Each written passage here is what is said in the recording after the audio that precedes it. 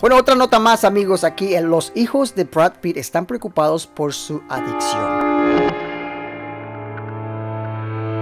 Los admiradores de, de Brad Pitt coincidieron que el actor ya de 55 años se ve muy flaco y desmejorado. Ya no se ve como antes, estaba mucho más antes que supuestamente para las mujeres se veía un papi chulo, etc. Bueno, durante mucho tiempo de fumar fue sinónimo de seducción y sensualidad que tenía tanto en hombres como en mujeres, el tiempo llevó a con... Y hoy la mirada es opuesta. Los hijos de Brad Pitt están asustados por la adicción de tabaco de su padre. Ah, se dice que Brad Pitt estuvo humeando, o sea que estuvo fumando esos cigarrillos eléctricos por un tiempo, pero últimamente ha vuelto a fumar hasta dos paquetes de cigarro al día. Nadie está más preocupado que, que son sus hijos. De acuerdo a los medios de comunicación, el actor no sobrellevó muy bien su superación de la ruptura que tuvo con Angélica Jolie. Pero así es amigos, todo lo que fuman realmente se pueden deteriorar, se pueden hasta enfermar, porque el tabaco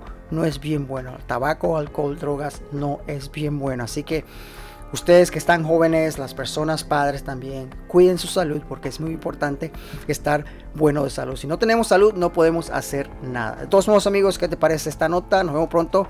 Quédate para más farándula on YouTube. See you soon, guys.